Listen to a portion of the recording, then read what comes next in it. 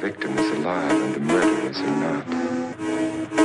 It's a pity you didn't know when you started your game of murder that I was playing too. That I was playing